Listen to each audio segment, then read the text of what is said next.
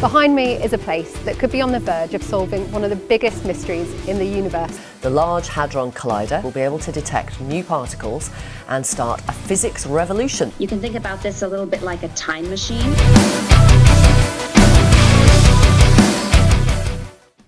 For years, scientists have been searching for a magnetic particle that has only one pole, a north or a south, but not both. These elusive magnetic monopoles have remained an enigma to researchers, with all attempts to find them coming up empty handed. The existence of these particles could explain a lot of mysterious phenomena in the universe, including the quantization of electric charge, but just when it seemed like we were at a dead end, a team of scientists at CERN stumbled upon a discovery that left the entire scientific community stunned. Join us on this journey to uncover what exactly the researchers at CERN found and how it could change our understanding of the universe forever. You know what goes on at CERN, the world's largest particle physics laboratory, where scientists work tirelessly to push the boundaries of our understanding of the universe. Well, the latest news from CERN is about to shake up the scientific community and potentially rewrite the laws of modern physics as we know them. Startlingly, subatomic neutrino particles might have travelled faster than the speed of light through the 17 mile long particle collider, a feat previously thought impossible. The only hitch? Nothing is supposed to be able to exceed the speed of light. Albert Einstein, renowned as the father of modern physics, based his groundbreaking special theory of relativity on the steadfast law that nothing can travel faster than the speed of light, which is a staggering 299,792,458 meters per second. But what if there's more to the story? Recent experiments at CERN may just be the key to unlocking the mysteries of a more complex reality than Einstein could ever have imagined. For over a century, his theories have paved the way for remarkable technological advancements. But what if they're just the tip of the iceberg? Enter quantum physics, the mind bending science of subatomic particles, which has sparked wild concepts like wormholes, alternate dimensions, and the possibility of time travel.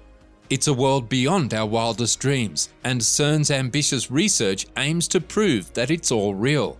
10 years ago, when scientists at CERN were smashing particles together at insane speeds, they were searching for the Higgs boson, otherwise known as the God particle, which is believed to be the tiniest particle in existence. Scientists were hoping at the time that the discovery of the Higgs boson would unlock the secrets of the strong force, an immensely powerful attraction that binds together particles of the same polarity, like magnets that would otherwise repel each other. Just a few months ago, the brilliant minds at CERN managed to isolate antimatter for a full 1,000 seconds. But their latest revelation has truly set the scientific world ablaze. Why? Because it could change everything we know about technology and time itself. You see, the theory of relativity famously states that nothing can travel faster than light. But what if that isn't entirely true? The researchers at CERN have measured a neutrino beam travelling 60 nanoseconds faster than the speed of light, with a margin of error of only 10 nanoseconds. If this data is correct, it means that we may have just breached the time barrier, a feat that was once thought impossible. Of course, the researchers are still seeking peer evaluation to confirm their findings, but if they're right, it could be the most groundbreaking discovery in the history of science. As CERN spokesman James Gillies put it, the feeling that most people have is this can't be right, this can't be real. Chang-Kee Jung, a physicist specializing in neutrinos at Stony Brook University in New York, isn't so sure about the recent discovery of faster than light particles. According to Jung, who is also the US spokesperson for a similar experiment in Japan, the timing of the neutrino's journey is crucial, and the global positioning system used to measure it can have a margin of error of up to tens of nanoseconds. While he's not saying that the researchers at CERN are wrong, Jung believes that there may be a systematic error that has yet to be identified, and he's not the only one who's skeptical.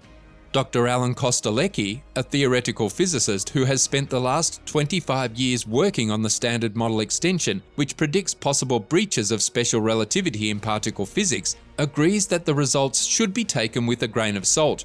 He points out that while previous measurements have put limits on what neutrinos are capable of, nothing has definitively ruled out the possibility of faster than light travel. Kostelecky emphasises that extraordinary claims require extraordinary evidence, and until the findings are independently confirmed, he remains cautiously optimistic. Now let's delve into another mind blowing revelation that has occurred at the CERN facility.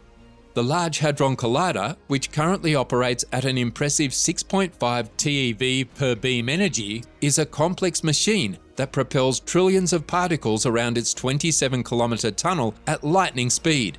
To achieve such a feat, over 50 different types of magnets are utilised to guide the particles along their intricate paths, with each magnet serving a unique purpose.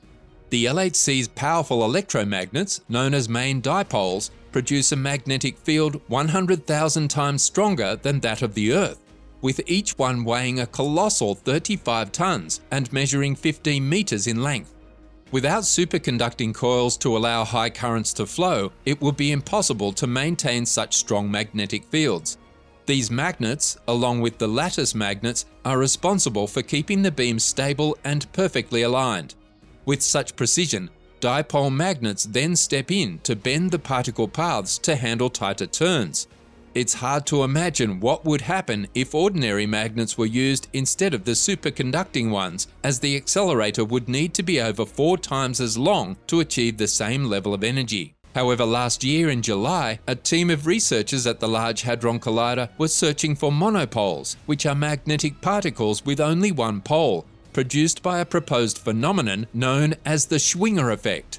They were using the most powerful magnetic field ever measured, produced by smashing two beams of lead particles together at extraordinary speeds. This magnetic field measured about 1016 Tesla, making it about 2 billion times stronger than a typical fridge magnet and 100,000 times stronger than the magnetic field from a magnetar, a highly magnetized neutron star. Despite being the most sensitive search for magnetic monopoles at accelerators, the researchers found no monopoles, but they were able to place the first strong limits on the mass of these particles. They cannot be less than 70 times the mass of a proton. However, after these experiments, the organisation made a rather strange announcement, stating that a fracture had opened up in the magnetic field of the Earth and remained open for 14 hours. This announcement led to speculation on social media that CERN was opening a doorway and that something otherworldly would pass through.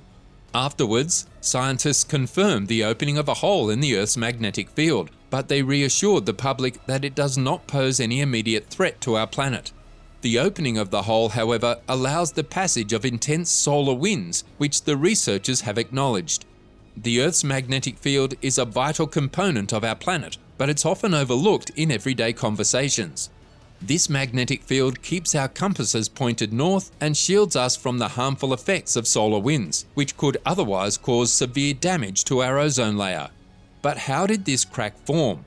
Well, it turns out that this particular breach was caused by a rare phenomenon known as co-rotating interaction region, CIR, from the Sun. Essentially, these are massive plasma structures that are created when fast and slow moving streams of solar wind collide in the heliosphere's lower and intermediate latitudes. The heliosphere is the space surrounding the Sun that contains the solar magnetic field and solar winds.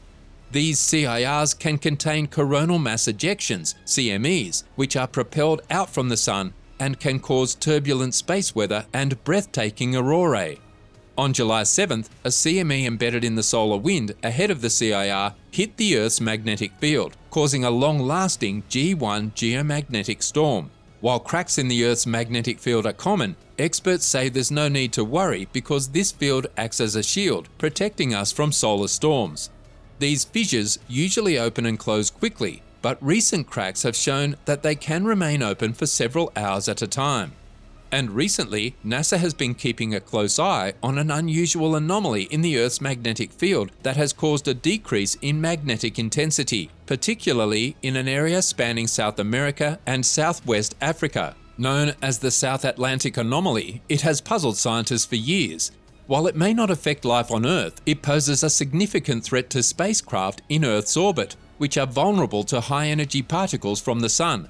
The reduced strength of the magnetic field during these periods can cause technical disruptions in these satellites, leading to malfunctions and other issues. To make matters worse, recent reports show that the Sun has been more active than ever, with 17 eruptions detected in a single area, two of which hit Earth at nearly 2 million miles per hour. This poses a real danger to communication networks and power grids, as we saw in early 2022 when SpaceX lost 40 satellites due to a geomagnetic storm. As astronomers and astronauts aboard ISS continue to study and monitor CMEs and solar flares, it becomes clear that they must take precautions to protect our technology and prevent potential disasters. Furthermore, have you heard of sunspots? They are some of the most remarkable features of the Sun, known for their incredible magnetic fields and the radiation they emit in the form of solar flares. They appear as dark spots on the Sun's surface because they are cooler than the surrounding area. But don't be fooled by their appearance. Despite their cooler temperatures, these spots are still extremely hot, reaching up to 6,500 degrees Fahrenheit. This is because they form in areas with incredibly strong magnetic fields that block some of the sun's heat from reaching the surface. Recently, a particularly active sunspot known as AR2975 produced a powerful solar storm that caused a beautiful natural light show called the Northern Lights. However, while these events can be stunning to behold, larger solar storms can be incredibly destructive. G3 storms, for example, can cause problems with radio and satellite navigation, and a massive G3 storm could even knock out the global internet. In 1859, the Carrington event produced the largest solar storm ever recorded, causing damage to telegraph systems around the world and creating auroras brighter than the full moon. With all this in mind, should CERN take extra caution with their experiments in future? Let us know your thoughts in the comments section below.